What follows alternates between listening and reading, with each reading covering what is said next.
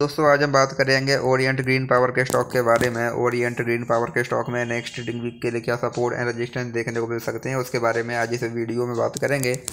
हम अगर यहाँ पर स्टॉक की बात करें तो हम देखेंगे जो ये स्टॉक है, ये हमको पहले यहाँ पर लगातार क्लियर अप ट्रेंड में देखने को मिल रहा था। पहले हमको स्टॉक में हाइयर हाई हाइयर लो वाला पैटर्न यहाँ पर देखने को मिल रहा था, लेकिन फिर स्टॉक ने यहाँ पर रजिस्टेंस लिया, जिसके बाद से अभी अगेन हमको यहाँ पर स्टॉक में लगातार गिरावट देखने को मिल रही है।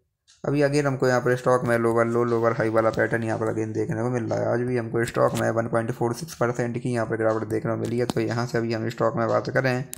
यहाँ से अगर अभी स्टॉक में और गिरावट आती है तो यहाँ से अभी और गिरावट की कंडीशन में हमारे पास यहाँ पर स्टॉक में सिक्सटीन पॉइंट सेवन फोर का पहला यहाँ पर सपोर्ट देखने को मिलेगा, अगर स्टॉक ने इसको भी हम ब्रेक किया। देन यहाँ से हमको स्टॉक में अगेन एक बड़ी गिरावट, एक हैवी सेलिंग यहाँ पर देखने को मिल सकती है। इसके बाद हमको यहाँ पर स्टॉक में थर्टीन और इलेवन तक के लेवल्स भी यहाँ से भी देखने को मिल सकते हैं।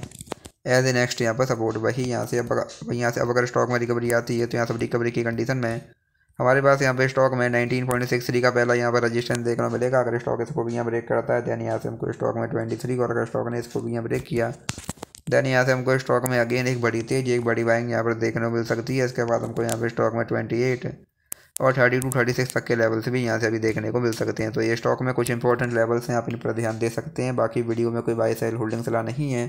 वीडियो केवल एजुकेशनल पर्पज़ के लिए धन्यवाद।